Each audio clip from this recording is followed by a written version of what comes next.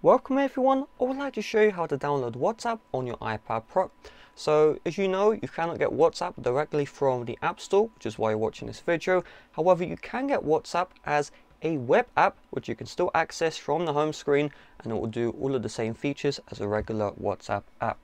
So in order to do this, the first step is you want to open up the Safari browser. So not any other browser you have on your iPad, the Safari browser.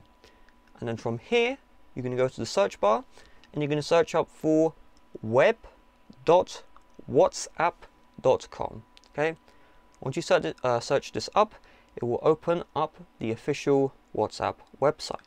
So you can see here, it does say to use WhatsApp on your computer, but this will work on your iPad Pro.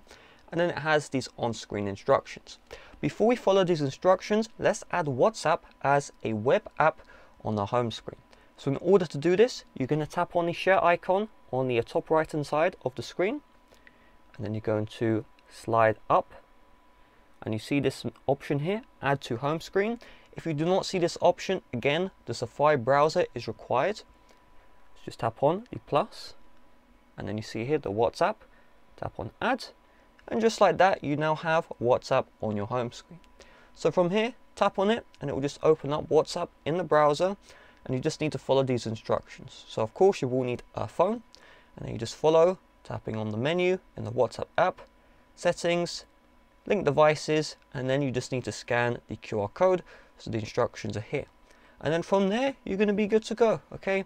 So there is a video tutorial for that if you need to use that. I personally don't use WhatsApp, however this will work uh, to have WhatsApp on your iPad Pro and every time you need to access WhatsApp just tap on the web app from your home screen and it'll load up to the WhatsApp website directly.